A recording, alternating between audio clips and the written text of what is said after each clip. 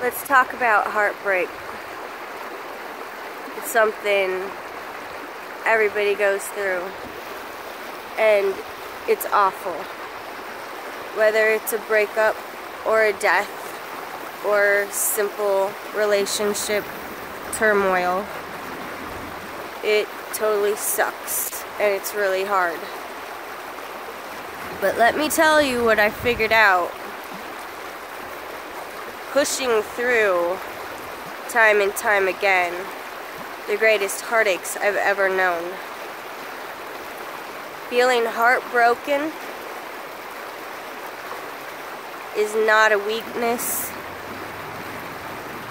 That deep hurt that you feel, that brokenness you feel, are not a weakness. It's actually you growing stronger you become more connected with yourself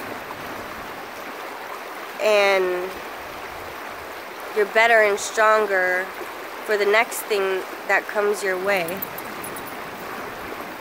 The only thing that I would want you to know is growing stronger should not mean you're growing colder or more callous. You should still remain soft, and able to love, just wiser. I have become wiser and braver and stronger while being able to remain soft and able to love fully. And I think that I could do that because I'm not willing to be broken. I only will be whole. And you can't be whole if you let things get the better of you. Another reason this was successful for me is because I never denied myself to feel anything that I was going through.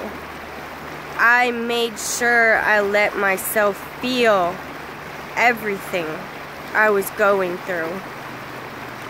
If I hurt and I needed to hold myself at night and cry myself to sleep, I was okay with that.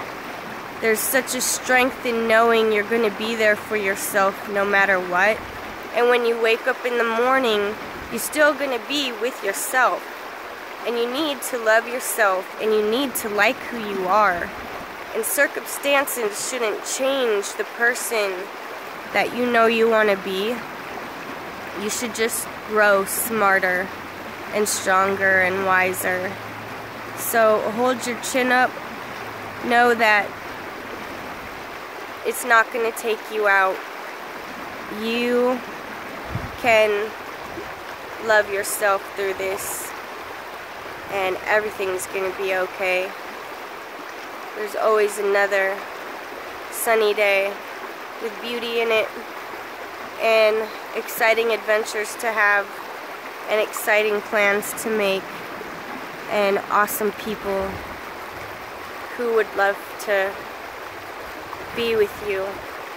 So fill your life full of what you love and the people who want to love you and you will really be happy, I promise. Take it from me, been there a lot.